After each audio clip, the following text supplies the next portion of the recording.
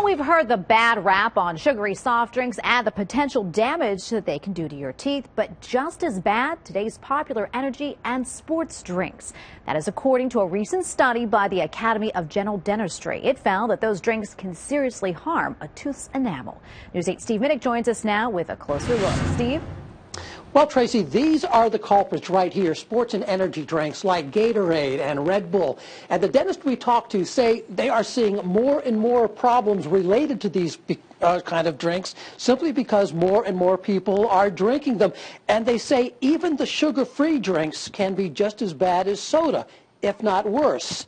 That's because of all the acid these drinks contain. Brady Fusco admits he's hooked on energy drinks, downing at least one 16 ouncer every day. I just love them. Love the taste, love the caffeine, I love the, the mojo. And he's not alone.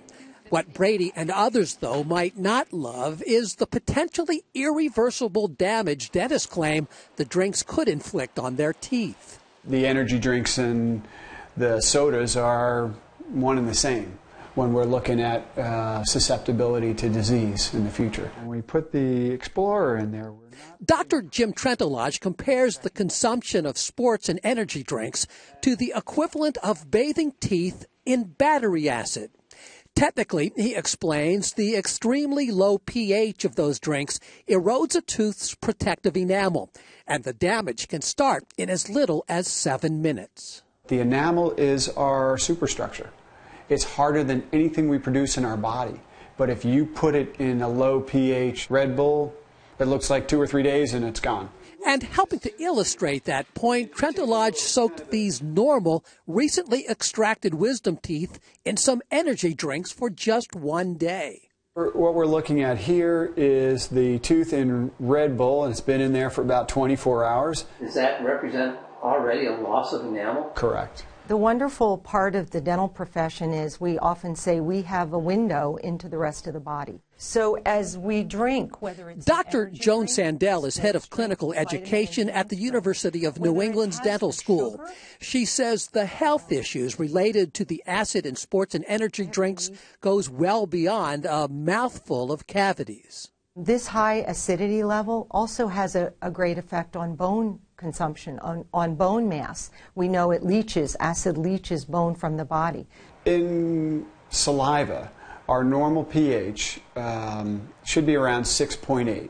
On a scale that ranks water with a healthy pH level of 7 and battery acid a 1, most sports and energy drinks rank about the same as many sodas, generally between 2.5 and 3.5 pH.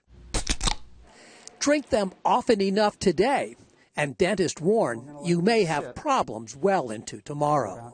Um, you could drink a Coke and these energy drinks for a couple of months and then quit, but your bacterial levels and the type of bacteria that are growing in your mouth two years, three years later, even 10 years later, if you haven't done anything to bring that pH level back up, is still the same. Now, the American Beverage Association recently issued a response to the General Dentistry report. It states in part, the study in no way mirrors reality. People do not keep any kind of liquid in their mouths for 15-minute intervals over a five-day period. Furthermore, it is irresponsible to blame food beverages or any single factor for enamel loss or tooth decay. Now, the dentist that we talked to said that these sort of sports drinks and energy drinks don't need to be eliminated from your diet, just moderated. Live in Portland, Steve Minich, News 8.